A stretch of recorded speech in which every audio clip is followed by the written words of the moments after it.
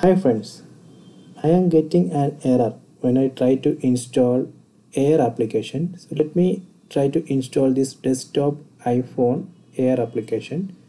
I click on that and select install.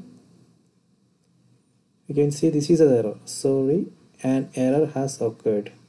The application could not be installed because of the installer file is damaged. Try obtaining a new installer file from the application author so I will show you how we can fix this issue. Let me close this window. Then here type uh, cmd then right click then select run as administrator. Click on yes. Then in this window so we need to run this command.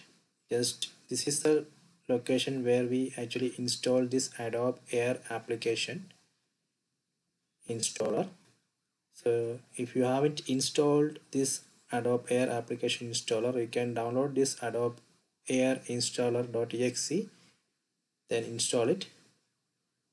Then hyphen ignore expired certificate timestamp. Just run this command then it will open a window. So in this window you need to select the air